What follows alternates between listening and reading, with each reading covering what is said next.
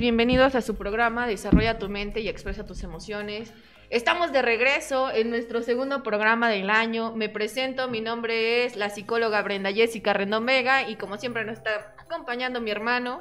Yo soy Eduardo Rendón Vega, igualmente psicólogo, y estamos acá efectivamente en nuestro segundo programa del año, que se nos haga un poquito complicado aquí porque mi hermana está convaleciente, ¿no? Y la verdad, Luego hacer el programa nos da miedito porque estamos solitos y como que nos perdemos y, la verdad es que ya acompañados es mucho más fácil. Una cosa diferente, ¿no? Es una cosa diferente y entonces fluimos muy bien, nos acompañamos y todo eso. Cosa que ya muchas personas se han dado cuenta dentro de los programas.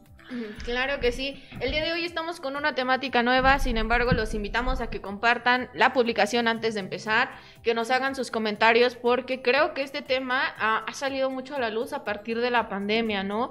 Eh, ya hemos hablado que la inestabilidad emocional que nos provocó la pandemia y todos estos cambios que tuvimos que hacer a partir de la nueva realidad, pues nos han afectado de alguna forma. Entonces, el tema del día de hoy es la depresión. Sí, entonces eh, sale a relucir esta temática y, creo que va por temporadas que van saliendo ciertos temas. Claro. Este, entonces está circulando la, noticia de que Miss Universo 2019 que se llama Chelsea Christ, este, se suicidó. Eh, para muchos, digo, e, es sorpresa que pase esto. Desafortunadamente para, para mí como psicólogo se me hace muy común. Eh, el conocer casos como estos en los cuales pues la gente termina con su vida, ¿no? Y la cuestión de que dicen es que, ¿sabes que Nadie se lo espera, nadie cree porque los ven en la cima, los ven en el éxito, alcanzando todas las metas que se habrían este, propuesto las personas. Y la verdad es que entran en, híjole, en algunas competencias medias complejas que a veces cuando se llega a la meta ya no hay otro sentido de vida, entonces llegan a pasar como estas, ¿no? Hay algunas personas, oye, ¿crees que sí sea? ¿Crees que no? Digo, la verdad es que eh, lo que hacía esta personita, todo el perfil, eh, pues estaba como que destinado a esto, ¿no? Y es una de las cuestiones que vamos a, explicar un poquito de por qué sucede esto, ¿no? Tenemos el caso de Kurt Cobain, ¿no? Claro. Este, que igual se suicidó y pues era un cantante famoso, ¿no? Muy famoso, muy conocido. Este, este persona aquí, Robbie Williams, que hizo la película de Patch Adams también este, aparentemente muy feliz, muchas sonrisas, mucho éxito, películas, actor y no sé qué, y acabó con su vida, ¿sí? Entonces, este, es algo que nosotros vemos comúnmente. Y la cuestión es que, híjole, yo ahorita estoy trabajando con una personita que quiere ser el mejor cirujano del mundo, ¿no? Entonces, paso, o sea, entra en esta carrera de conocer, de estudiar, de hacer, de, y no sé si realmente lo haga feliz a esta persona, sino es por el, la cuestión de la competencia y la cuestión de lograr metas que no sabemos si realmente nos hacen estar bien. Por supuesto que yo lo vería más bien como el lograr el objetivo, ¿no? Mucha gente se enfoca exactamente en el objetivo, la meta, llegar a donde tengo que estar sin embargo, como que nos vamos olvidando un poquito del proceso, ¿no? Que también es parte importante de lo que estamos haciendo, aprender a vivir tu proceso y de alguna forma entender esa parte emocional, ¿no? Porque nos presionamos tanto por lograrlo que es ahí cuando nos desestabilizamos y dices, ah, caray, sí lo quiero lograr, pero no respeto ese proceso, lo voy presionando tanto que lejos de disfrutarlo, lo siento como si me estuviera lastimando, ¿no? Entonces, es una parte bien importante porque no estamos eh, disfrutando este proceso y hay que entender que toda la vida es un proceso y si nosotros no lo estamos haciendo, solamente nos estamos fijando en la meta y de repente nos presionamos nosotros mismos y hay presión social alrededor de nosotros, se vuelve como una bomba de tiempo hasta cierto punto, ¿no? Exacto, lo, lo vamos a comentar desde el caso de esta, de esta persona, ¿no? Este, en la cual, digo, e, es este Miss Universo, ¿no? Claro. en el mundo de la belleza, la pasarela, la competencia. Y la cuestión es, ¿desde cuándo habrá iniciado su carrera?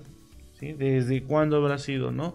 Y la verdad es que aquí le digo a mi, a mi hermana, vamos a ser muy críticos, ¿no? Claro. En la cuestión de que eh, hay niñas que son muy bonitas, o sea, genéticamente vienen muy bonitas las chicas. Y entonces a veces la cuestión es la mamá. No, la mamá es mi hija, está hermosa, ¿no? Digo, yo veo a las mamás en los bailables o eventos que hacían en las escuelas, porque ustedes ya no los han hecho, ¿no? Sí. Y la mamá se te presiona y le sobreexige a la niña porque salga bien, ¿no? Porque lo haga bien, o sea, hay una crítica de los Simpson hacia esta temática con las bailarinas de ballet, ¿no? Claro. Tenemos la historia del cisne negro. Sí. Este, donde se manifiesta este punto en el cual este, se le presiona, se le exige, vaya, esas personas no tienen amigos ni amigas, ¿no? Porque es tú que estás concursando conmigo, eres mi enemiga, mi competencia, ¿no? Entonces, realmente yo, yo creo que entran a una competencia en una vida vacía de, y yo creo que aquí es la, la parte enferma de nuestra sociedad, el egocentrismo. Claro, y que se centra en la idea de la perfección, ¿no? Porque ya no nada más es que haga las cosas bien, porque desde esa ideología un, un tanto machista también inculcada por las mamás es que te sientes bien, te veas bonita, estés todo el tiempo bien peinada, arregladita, no estés sucia, ¿no? Y lo mismo que mencionas en los bailables, vemos la sobresexualización de las niñas porque pues las niñas son bonitas por naturaleza, ¿no? Pero ya las empiezan a maquillar, que el pestañón, que las uñas.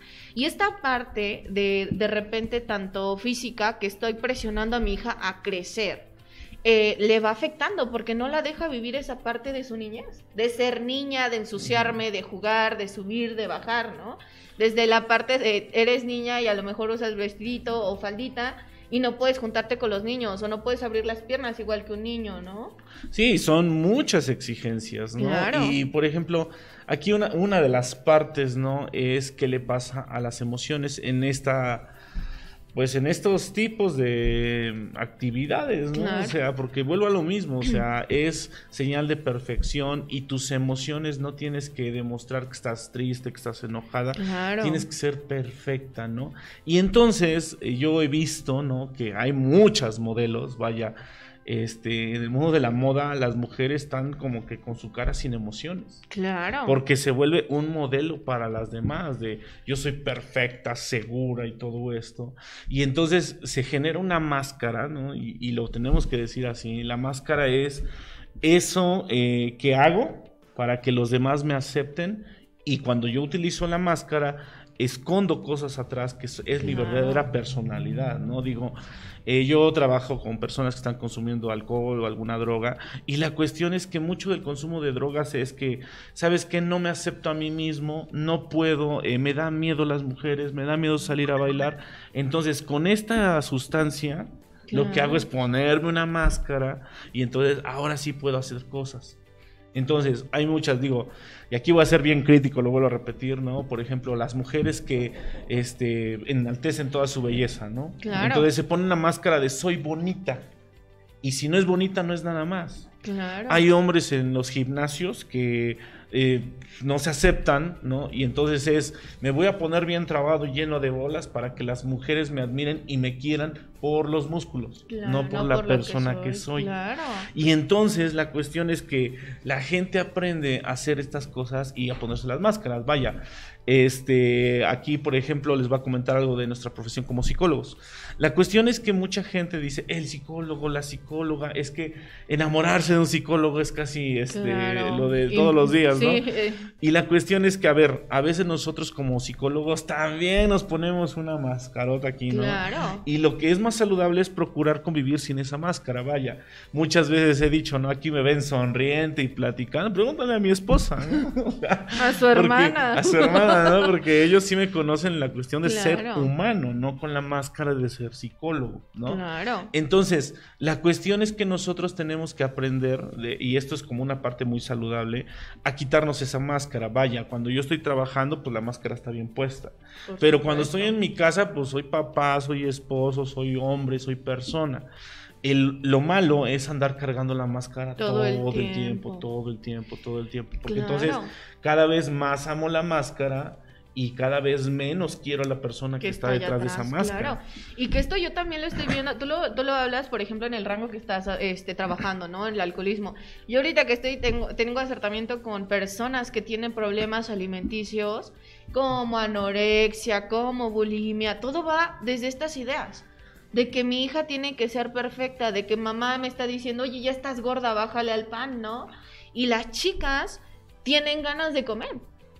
Pero estas ideas que constantemente me están repitiendo, me están diciendo, hacen que yo tenga conductas de alguna forma que me esté autolesionando, ¿no? Y ahí vienen las chicas que vomitan, ahí vienen las chicas que no comen o comen solamente cuando las están viendo y va por la misma ideología. Yo le decía a una chica que atendí recientemente, o sea, la idea que tú tienes es un poco machista, ¿no? Porque ella está como en esta parte de, ay, no, soy feminista y demás, ¿no?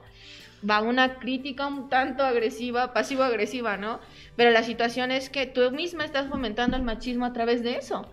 Porque finalmente estás haciendo que un hombre se fije a través de tu figura y no a través de lo que eres. Exacto. Y de alguna forma estás haciendo y fomentando esa parte machista que socialmente está, ¿no? Y que si tengo un cuerpo bonito, una cara bonita, un cabello bonito, una nariz así como respingadita, como dicen los videos de por ahí una aplicación, es cuando me siento aceptable por los demás o aceptada por los demás, si no siento que todos los demás me critican, ¿no? Y va desde esa parte e ideologías que de alguna forma nos estamos repitiendo todo el tiempo y nos están dañando. Y no nada más causa depresión, causa otros trastornos como ansiedad, todos esos trastornos alimenticios, ¿no? Sí, y es que mira, o sea, tú y ahorita te me adelantaste, ¿no? Perdón, Pero la cuestión es que los concursos de belleza generan esos padecimientos Claro. mentales. Claro, ¿por qué? Porque había personas que este, empezaron a decir, no, el cuerpo perfecto mide tanto en, de tal lugar, tanto en tal lugar, y entonces ahí van todas las personas o muchas personas a creerse eso. Estos y entonces- estándares de belleza, ¿no? Exactamente.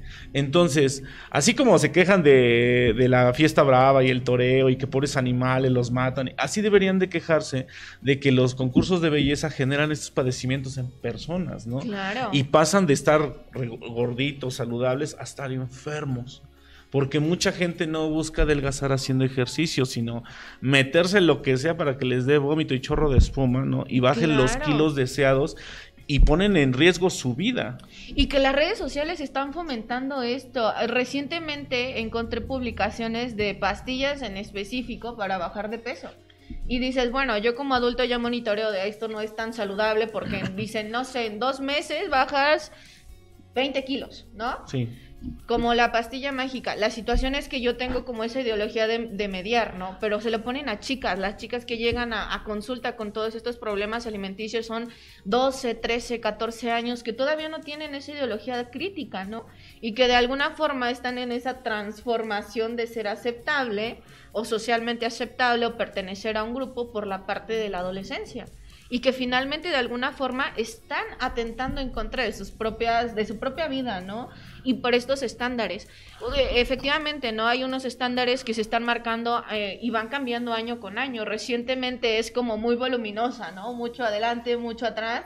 Y las chicas que son muy delgadas se frustran, ¿no? Efectivamente. Y vámonos a Estados Unidos a las modelos súper, súper delgaditas, eh, no tienen nada ni por adelante ni por atrás. Entonces, como que también hay una confusión en su cabeza, ¿no? De cómo tengo que ser para ser bonita, ¿no? Y es que volvemos a esto. Eh, la, la moda este, es un tiempo, ¿sí me explico? Claro. O sea, lo que fue moda hace cinco años, ahorita ya no lo es. Ya no lo es, Y claro. entonces es un cambio constante, constante, constante, ¿no? Yo, yo estoy pensando en qué momento los psicólogos se pondrán de moda, ¿no? Otra vez, porque ya fue un- varias épocas en la historia que el psicólogo ha entrado mucho, mucho, mucho, mucho. Y la cuestión es que nosotros observemos eh, qué actividades laborales hay allá afuera que nos generan estos estados depresivos. Vaya, Claro. ahorita hablamos desde el machismo que se le enseña a la mujer a competir desde su físico, desde su belleza. Pero los hombres también estamos en esta, en esta cuestión, ¿no? Digo, yo he conocido muchos hombres que acaban con su vida porque no ganan lo suficiente, porque no tienen el megacoche, porque no tienen la casa, porque no tienen el dinero para darle a la mujer. Entonces piensan que si ellos no tienen todo esto, entonces van a tener una pareja fea. Y la cuestión se los tengo que decir, a ver, no hay que más bonito, más bonito, solamente somos personas. Claro. La cuestión aquí, como dicen, ¿no? El, el gusto se rompe en géneros, ¿no? Y siempre hay un roto para un descosido. Así como eres, así le gustas a alguien. ¿Sí me explicó? Entonces, eh, la cuestión es que te tienes que aceptar tú, porque yo se los he dicho muchas veces, o sea, la gente que no se acepta ni a sí mismo se queja de todo. Claro. No, o sea, yo he visto hombres y, lo he escuchado en grupos que, ay, no, yo quisiera que mi esposa estuviera así, y así, y así, y así, y así. Ay, si no acepto al de enfrente, significa que adentro tampoco me, estoy, aceptando, a mí. Claro. ¿Sale? Y eh, un maestro tenía esta frase que me encanta que decía, mucho control afuera, poco control adentro. claro. Sí, porque esto es lo que denota eh, que la persona está incompleta, ¿no? Y entonces, eh, yo por ejemplo he escuchado también casos de hombres o personas en general que se han suicidado por la cuestión de que el trabajo. ¿sí? El trabajo, trabajo, trabajo, trabajo, trabajo, trabajo, trabajo, trabajo, trabajo, o porque me quedé sin trabajo. Sí, no, y es que la cuestión es del trabajo, o sea, tienen trabajo todos los días, generan dinero, mueven, pero no son felices. Entonces la cuestión es, mucha gente se ha creído la idea de que el dinero te da la felicidad y no es cierto, no es cierto, ¿sí me explicó? Aquí la cuestión es a ti qué te hace ser feliz y aquí va una parte que nosotros como, o por lo menos yo en la parte de la, de la psicoterapia con el enfoque gestáltico, es la cuestión de que, a ver, haz las cosas que a ti te, llamen la atención. Claro. Porque cargamos las ideas de lo que dice la gente, ¿no? Por ejemplo, a mí como hombre la cultura me dice, tienes que tener dinero para ser feliz. Por supuesto. Y yo actualmente digo, no manches, o sea, todo el día chingándole, ¿no? Y todo para darme lujos que no me puedo pagar.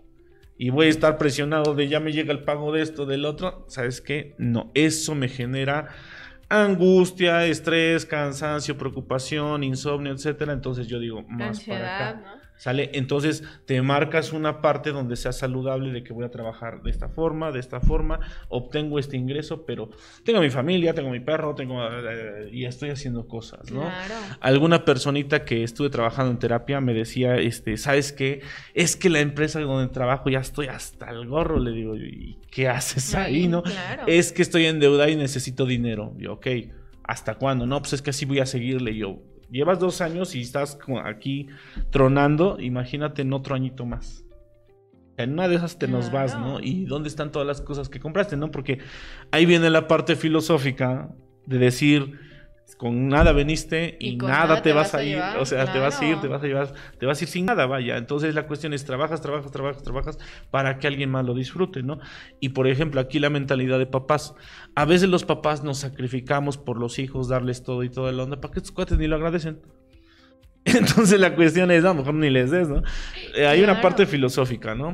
Y que eh, eh, esa, esa, parte filosófica sí hay que abordarla, ¿no? Porque viene desde la filosofía que yo tengo como papá, cómo te estoy educando y finalmente qué presiones estoy poniendo en ti. Sí. Porque ahí tenemos también a mucha gente frustrada estudiando algo que no les gusta, haciendo, trabajando algo que no quieren por la presión de los papás. Y a lo mejor eh, dicen, no, es que me salió un hijo exitoso. Ajá, pero a costa de qué, ¿no?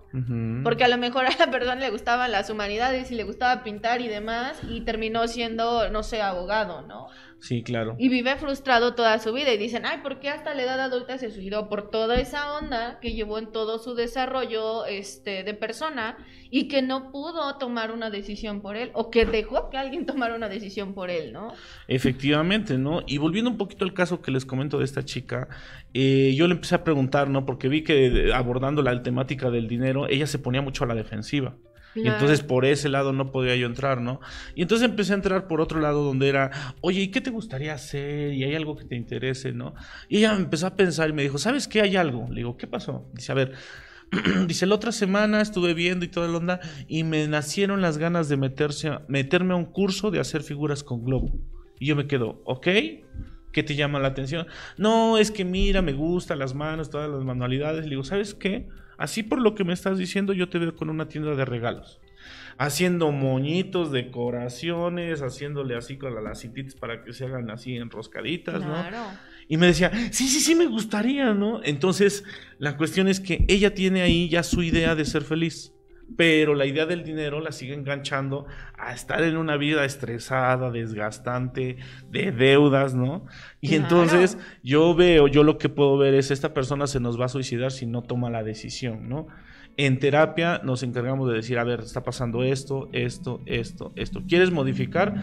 Yo te podría hacer la sugerencia que por acá pero tú solita tienes Es que ir que buscando, ¿no? claro. Porque tampoco es que obedezcas lo que dice el psicólogo, también no, ¿sí? Porque el psicólogo va a tener una perspectiva. Y entonces la cuestión es eso, la gente encuentra felicidad en cosas tan simples, como lo comentaba yo en algún momento, un curso de fotografía, Claro. un curso de cerámica. ¿no? En lo particular hay cositas que yo he hecho para la casa, ¿no? Unos cuadritos y ahí medio acomodé mi puerta y toda la onda. Y esta cuestión de yo lo hice, Claro. eso como que, ay, me da alegría, ¿no? Y cuando lo comparto, miren, yo hice esto, yo hice el otro, la gente dice, órale, no, padrísimo, ¿no? Y eso a mí me hace sentir bien conmigo mismo. No necesito la máscara para sentirme bien con lo que hago. Y que mucha gente no identifica este tipo de cosas precisamente por la cuestión emocional, ¿no? De que también nos hacen como detener esas emociones. No expreses, no digas, no esto, no lo otro, no muestres. Porque todo el tiempo estamos a la defensiva. Y he asociado muchísimas cosas de la felicidad porque yo siempre le pregunto a la gente, ¿qué te hace feliz cuando llegan a terapia, no? Y lo primero que yo pregunto. Y se quedan como de. No sé para dónde ir, ¿no? Y a lo mejor mencionan un momento, ¿no? Cuando estaba yo en la playa sintiendo las olitas que se estaban moviendo, ¿no? El calorcito, una cervecita. Eso es la felicidad, ¿no? No te digo que todo el tiempo vas a andar en la playa, pero estás disfrutando un momento en específico. Te Ajá. estás tomando tu tiempo para sentir, para hacer contacto con la naturaleza y demás. Efectivamente. ¿no? Y no significa que porque fuiste una vez a la playa y ya después te vas a ir a esclavizar para recuperar todo eso que te gastaste, ¿no? Porque ahí va de nuevo la mentalidad Claro. del dinero. Sí, sí, sí. Y tener en cuenta, este, por ejemplo, ahorita que hablabas de la cuestión emocional, eh, lo hemos comentado varias veces aquí en el programa, somos analfabetas emocionales, Emocionales, claro. que no sabemos este, cómo guiar nuestras emociones. Entonces, eh, vamos a cerrar esta parte, ¿no? Con todo esto del suicidio, del por qué se da, de los trabajos, del estrés, toda esa situación. Eh, vamos a ir a un corte y regresamos, a hablar de las emociones, del alfabetismo emocional.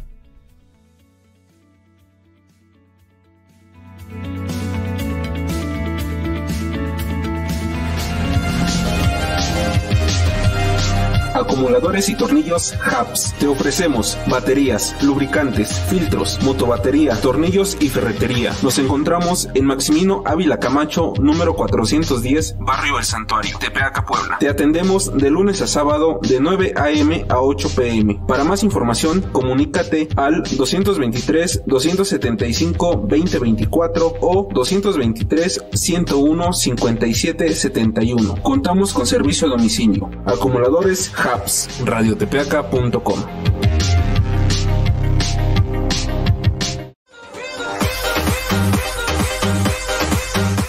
pequeños detalles que se vuelven grandes. Camila Bazar, Camila Bazar, bisutería, cosméticos, exfoliantes, mascarillas, perfumería, artículos de novedad. Entregas personales en Tepeaca. Teléfono 2231 22 51 43. Búscanos en Facebook e Instagram como Camila Bazar, como Camila Bazar. Radiotepeaca.com.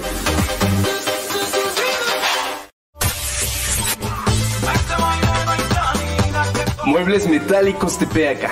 Presentamos la promoción más salvaje del año. Contamos con todo para tu negocio, vitrinas de lámina y madera Anaqueles, exhibidores de alambre, ganchos y una variedad de productos. los mejores precios. Somos fabricantes. Visítanos en Carretera Federal Puebla-Tehuacán, kilómetro 37, a 100 metros de las vías del tren, en Tepeaca. Lunes a viernes de 8 de la mañana a 6 de la tarde. Para más información, comunícate al 237-114-9382 o 237-103-6116.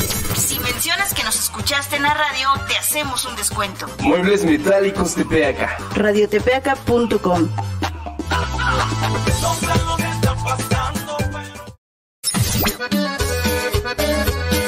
Carnitas y cueritos, el campo, carnitas por kilo y por mayoreo. También contamos con paquetes para tus eventos especiales. Estamos ubicados en calle 12 Oriente, número 220, en el barrio del campo, de 8 de la mañana a 4 de la tarde.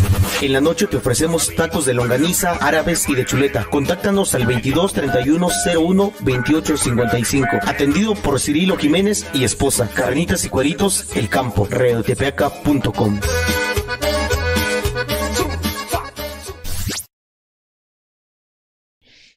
de, de, regreso en Desarrolla tu mente y expresa tus emociones. Los invitamos a que nos hagan sus preguntas, también que nos manden saluditos.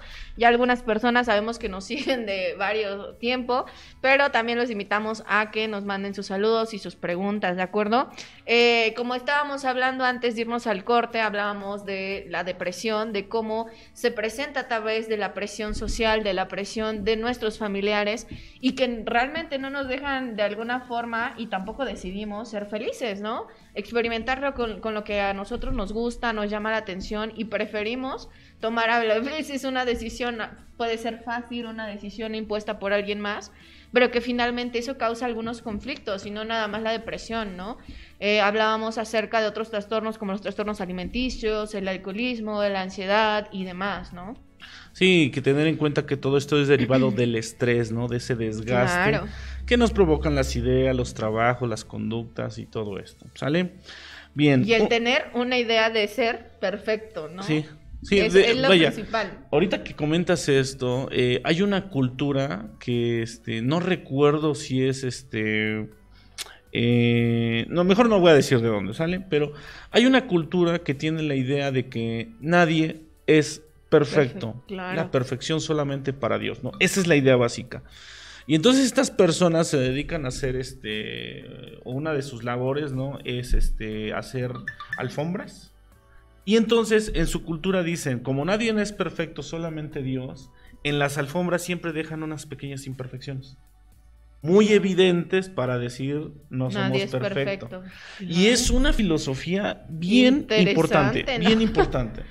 Porque digo, híjole, ahorita aquí en nuestra, en nuestra cultura, ¿no? Este, cada gente que con el ego, o sea, súper elevadísimo, de que yo me sé todo y yo todo perfecto y yo, y, híjole, eso es, eso es lo que nos está provocando, o sea, problemas sociales, ¿no? Porque eh, la gente con el ego elevadísimo es bien complicado, ¿no? Yo, yo ve que siempre como que no me llevo con los médicos y les digo, es que esos cuates se creen Dios, ¿no? O sea, Claro. porque y no se equivocan, son perfecto, te dicen, ¿no? Y la Siempre cuestión tienen es la que, razón. híjole, es muy difícil hablar con un médico como persona, Claro. ¿vale?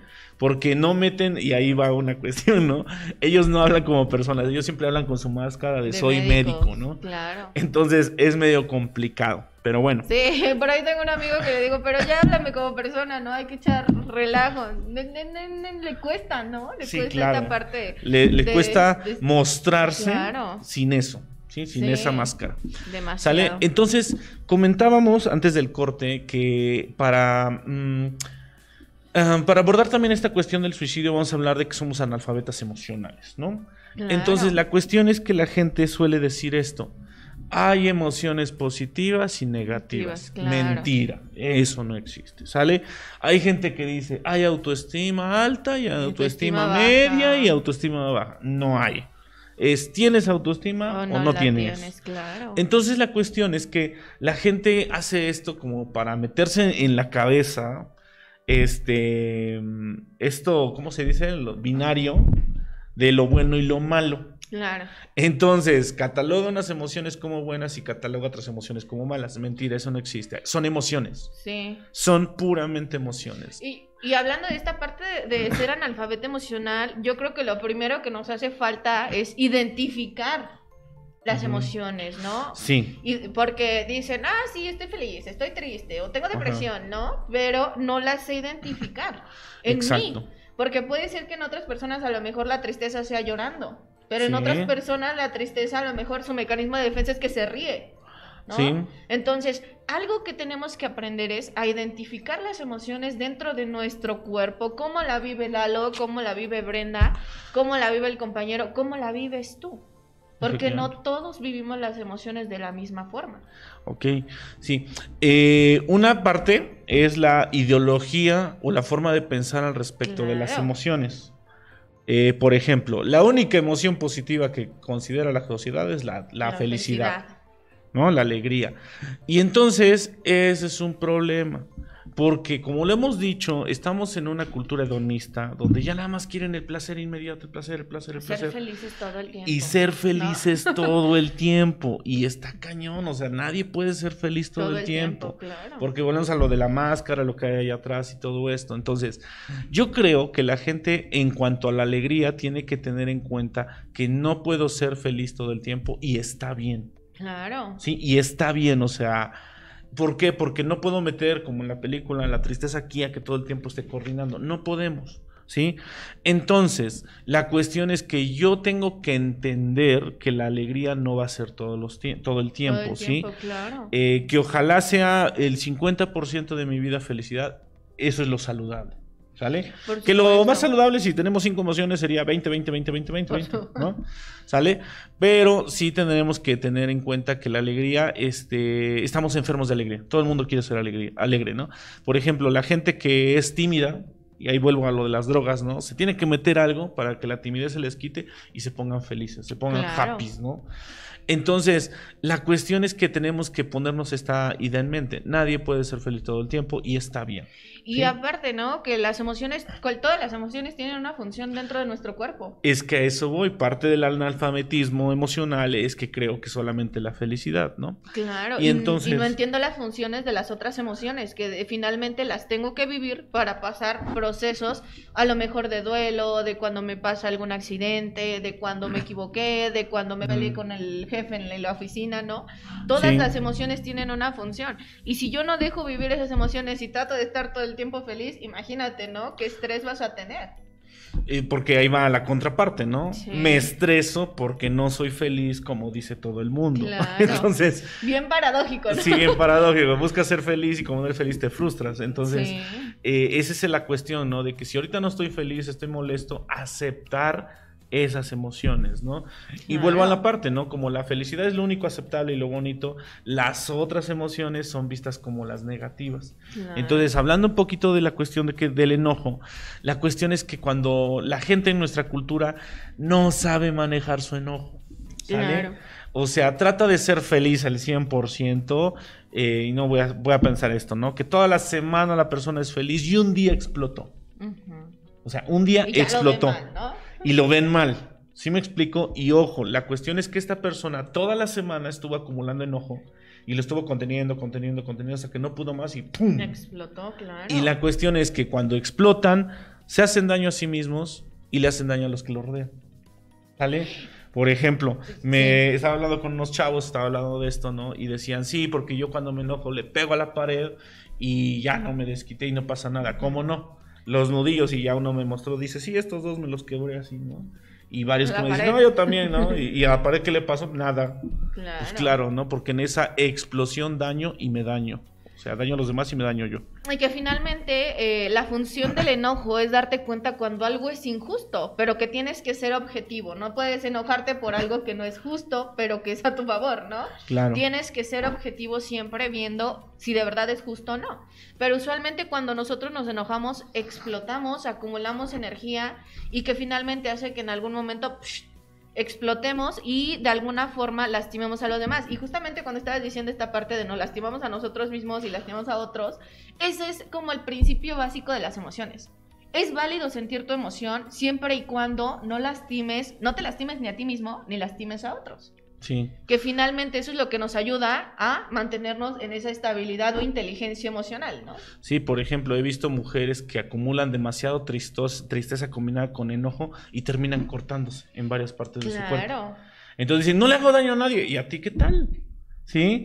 Por Pero es ejemplo, que no siento, ¿no? por ejemplo, los alcohólicos, ¿no? Los alcohólicos dicen, ah, yo no le hago nada daño a nadie. Y le están metiendo un montón de alcohol a su cuerpo y le están haciendo daño a sus riñones, a su hígado.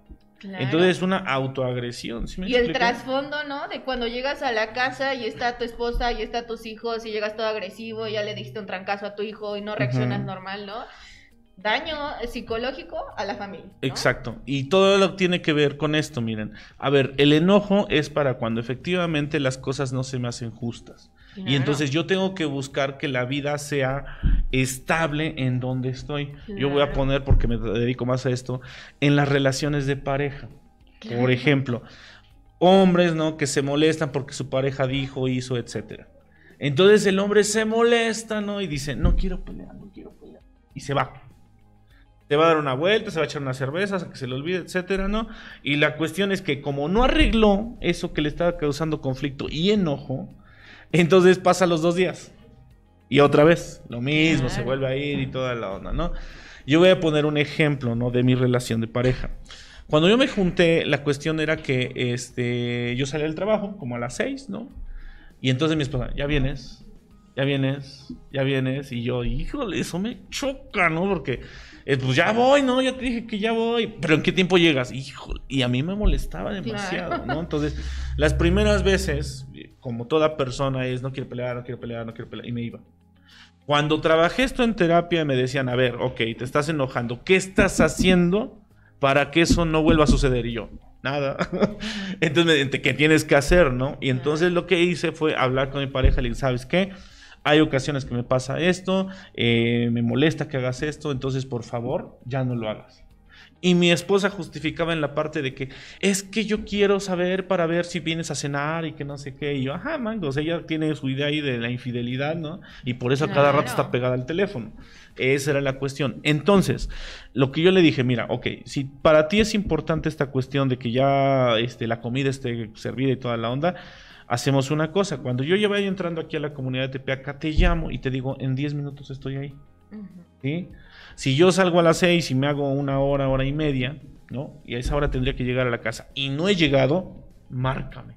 Porque ya me salí de lo normal de los parámetros, ¿no? Entonces, haciendo un acuerdo como estos, ella dejó de hacer cosas que costó trabajo, no es fácil. Este, yo hice cambios en otras cosas y la relación ya fue más saludable. Claro. Y entonces mi enojo me dijo, aquí está pasando algo que te está alterando, te está molestando. Componlo. Si yo no lo compongo, eso se vuelve en enojo, enojo, enojo, enojo, enojo, hasta que pum, explotó y generó Y años de enojo, ¿no? Porque eso no nada más es uno, dos Ah, sí, claro, digo, a, muchos que les comento, yo, yo, este, pues con la cabeza de psicólogo empecé mi relación y lo feo, lo feo, duró tres años. Pero hay parejas que he visto que llevan a los 50 años y me dicen, doctor, llevo 25 años peleando con esta persona. ¿Por qué? Ah, pues porque no se detuvieron a acomodar eso. ¿Sí me explico?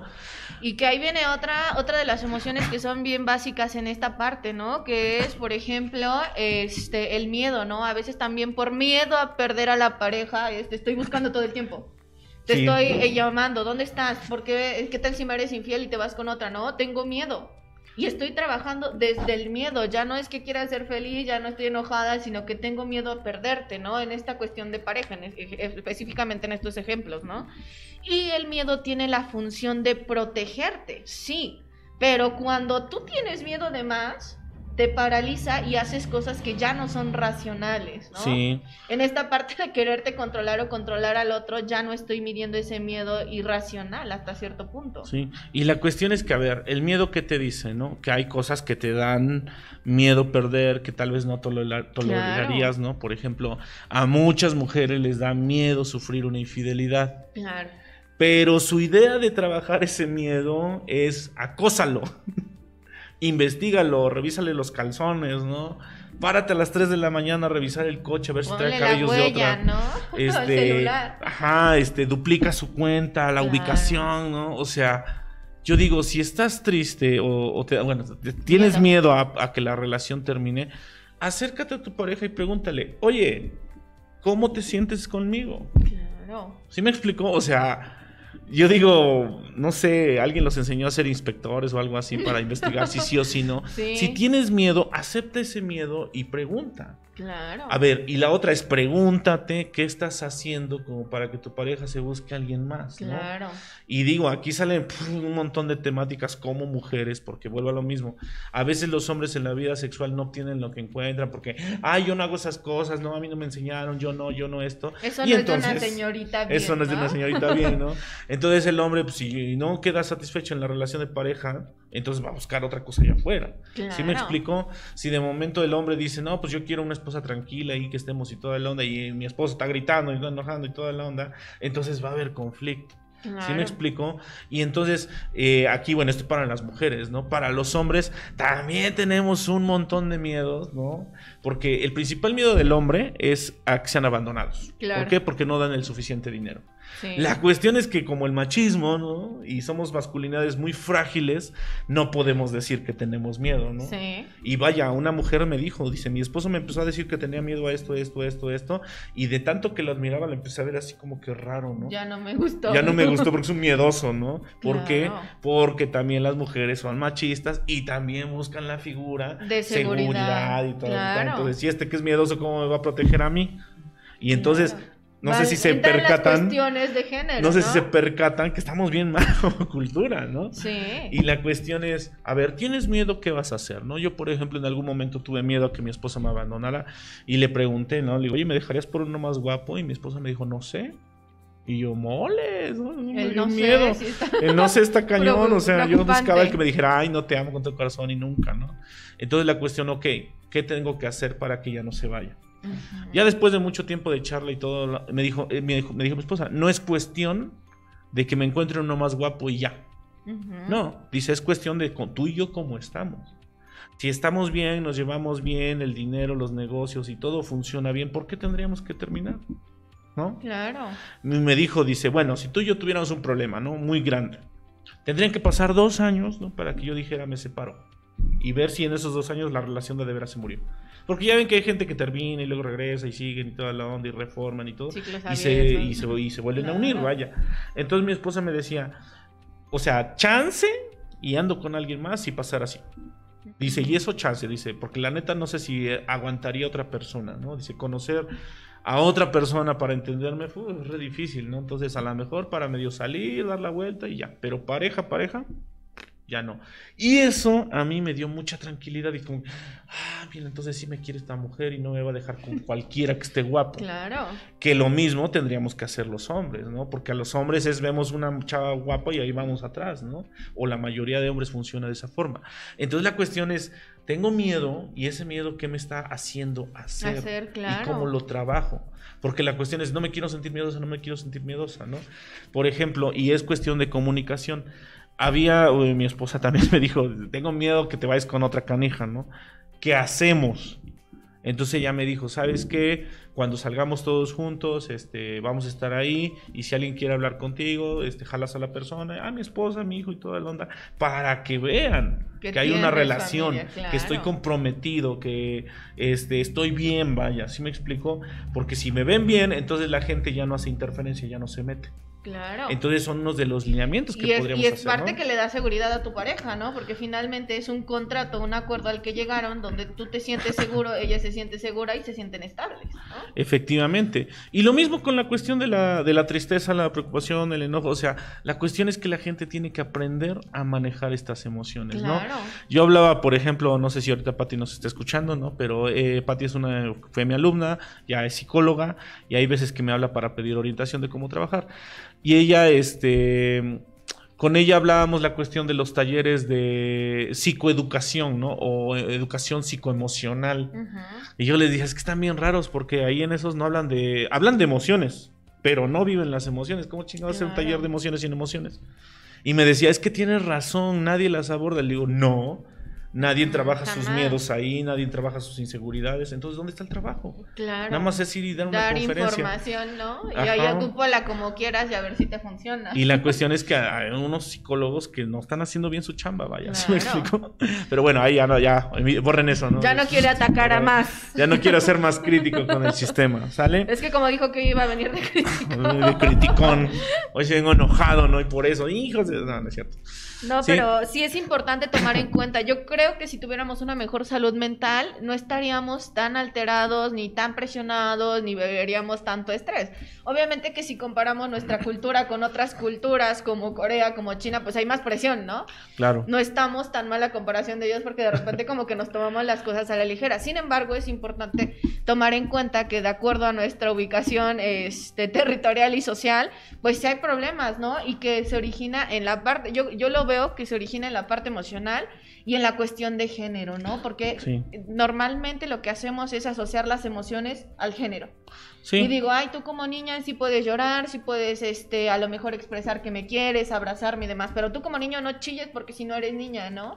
Y ahí desde ahí ya estoy programando a mi hijo que ser niña no está bien, ¿no? Sí. Y que llorar no está bien. Entonces, parte de lo que socialmente nos hace falta es educación emocional y educación en cuestiones de género. Sí, y la otra es que miren, o sea, así como le damos su servicio de mantenimiento al coche, ¿no? Este, la limpieza a la casa y toda la onda, también tenemos que darle una revisada a, A nuestra nuestra, mente, salud, ¿no? A nuestra mente, cómo andamos, ¿no? Si andamos pensando cosas raras, si andamos con pensamientos auto- autodestructivos, todo eso lo tenemos que, que- que darnos cuenta, ¿no? Y la cuestión es que a veces no nos percatamos de, porque la gente es yo tengo mi máscara y veo que el otro usa máscara y pues como no, no nadie se la quiere quitar, pues no le digo nada, ¿no? y me quedo callado. Y entonces toda la gente se anda escondiendo de lo que realmente pasa en sus vidas. Por supuesto. A mí ahorita en jurídico me ha pasado muchísimo que llegan y me dicen, es que me mandaron de fiscalía porque necesitamos o necesito atención psicológica de pareja porque nos peleamos, demás. ¿no? Pero quiero mi constancia. O sea, voy por una constancia para que los de fiscalía me dejen en paz, pero no a realmente trabajar en lo que tengo que trabajar, ¿no? Eh, Efectivamente. A, a veces esa parte de decir, ay, me libero de la justicia, pero no checo qué tengo en mi mente, pues es medio mal, ¿no? Yo, digo, yo le digo a la gente, pues si ya estás aquí, aprovechalo, a lo mejor de algo te puede servir, ¿no? Si ya te mandan por obligación, pues ya quédate y disfrútalo, ¿no? Digo, así Claro. les digo a los del anexo, ¿no? Sí, Ya estás acá, manito, y vas a estar un rato, entonces mejor aprende no a disfrutar el viaje. otra, ¿no? Y la cuestión es, es esa, o sea, eh, como la- nos andamos escondiendo entre nosotros, aquel que nos hace preguntas y nos desenmascara, híjole, se siente incómodo, incómodo, incómodo, porque son los mecanismos con los cuales te has estado ocultando siempre. Claro. Y cuando alguien te quita esos mecanismos de defensa, sientes espantoso, pero la cuestión es que te ayuda a ver y a cuidar y a aceptar algo que tú solito no aceptas. Y es que va desde esa parte, ¿no? De que no estamos acostumbrados a que nos vean vulnerables. Exacto. A que quitemos todas esas, esas máscaras que tenemos y cuando alguien nos las quita y nosotros no podemos meter la mano, pues se nos complica, ¿no? La Sí. situación. Y la cuestión es que esto que estás sintiendo es lo que sientes siempre, pero siempre con tu máscara, ¿no? Y ahorita que lo estamos hablando y lo estamos tocando, la gente se siente extraña. Y entonces por eso hay gente que huye de la terapia. Claro. Porque dice, me estoy dando cuenta de cosas que no quería darme cuenta, que no quería recordar, que no quería este, volver a vivir, etcétera, etcétera, etcétera. Entonces para mucha gente la terapia la ven muy difícil, ¿no? Y la cuestión es que, fíjense, eh, yo está- estoy en, en grupos así de intervención, eh, hacemos la terapia y la gente se va dando cuenta, y como estamos en grupos se dan cuenta que no es por joderlos, no es por lastimarlos, es conócete, acéptate, quiérete y ámate como eres. claro. Entonces, en esta parte es eh, una- una- un maestro, estuve platicando hace 15 días, y la cuestión es que él, de- él decía, el trato que damos los psicólogos con las personas es un trato dignificante. Claro. Porque la familia te humilla, te agrede, te dice, te ataca, etcétera, y el psicólogo sí, te quita tu máscara, pero te trata con ese tacto y decir, ok, lo entiendo, lo respeto, ¿qué necesitas? ¿no? Claro. Entonces, híjole, no sé, me acuerdo del meme que decía, algún día vas a encontrar una persona que te entienda perfectamente, te respete y, te, y te va a cobrar 500 varos la consulta y es el psicólogo. ¿no? Porque esta es nuestra chamba. Por supuesto, ¿no? Y que finalmente la finalidad es eh, ser realistas, no ofender y lo principal, ¿no? Ayudar y dar estrategias para mejorar la atención o la vida de la gente, ¿no? De las personas que se acercan a terapia. Sí, eh, con esto del suicidio, eh, en las redes sociales circula una imagen que dice, ¿no? El suicidio es real. Si en algún momento este, requieres hablar con alguien, para eso estamos nosotros acá. ¿Sale? Claro. Entonces, si en algún momento la gente se siente eh, rara, extraña, pasan ideas raras en su cabeza, no duden en contactarnos, ¿sale? O sea, lo hemos dicho, este programa es para apoyar a la gente que a veces no tiene las Lo- posibilidades de acceso, asistir claro. a, a una terapia, ¿no? Entonces, sin problema podemos hablar unos minutitos y toda la onda y empezar a trabajar en hacer cosas, ¿sí? Entonces, es las recomendaciones, el apoyo está, aquí estamos nosotros dando esta facilidad y entonces, pues aprovechenlo, ¿no? Va a haber gente que diga, ay, no me caen gordos estos cuates, pues con nosotros no, vayan con, Con otros psicólogos que les claro. mejor, ¿no? Entonces, este, inténtenlo, háganlo, ¿sale? Y también analicen cómo está su salud mental, ¿sale? Claro que sí, y más que nada cuídense, porque finalmente si no cuidamos de nosotros mismos, nadie nos va a cuidar como nos cuidaremos nosotros mismos. Eso es importante. Pues hemos terminado el programa del día de hoy. Agradecemos a todas las personas que nos están viendo. Les mandamos saludo a todas aquellas que nos siguen y también a las que nos están viendo por primera vez, porque sé que hay algunas personas que por primera vez nos están viendo. Y les hacemos la latente invitación a que nos vean cada ocho días. Ya, ahora sí, sin falta, vamos a estar aquí dando temáticas. Y también los invitamos a que nos escriban, ¿no? Si efectivamente, ¿no? Este es un programa de apoyo. Entonces, si tienen alguna temática que por ahí les esté molestando en su vida diaria, pues mándenos un mensajito en privado y hacemos un, un este, programa acerca de ese tema, ¿no? Agradecerle aquí al compañero que siempre nos está apoyando y al licenciado Francisco Jiménez Bella por darnos este espacio y hacernos familia de Radio Tepeaca. Sí, tener en cuenta que pueden descargar la aplicación para que directamente les abran los videos, que nos sigan en Facebook Live, en radiotepeca.com. Yo tengo mi perfil que es este sí Eduardo Rendón Vega. Y yo me encuentro como Brenda Jessica Rendón Vega. Y aquí abajo, no, de este lado tenemos nuestro logo, que es Capi, y así pueden buscar también nuestra página de Facebook o nuestro canal de YouTube. Igual aquí están apareciendo nuestros números personales, por si les interesa, nos pueden mandar también un mensajito. Sí, y tener en cuenta que también estamos en el 89.9 de FM. Este, y también transmitimos el radio y se transmite todo esto, ¿sale? Entonces, así le hacemos, que tengan un excelente día, una maravillosa noche y nos estamos viendo la próxima semana a las 6 de la tarde. Hasta luego, muy buena tarde-noche. Thank you.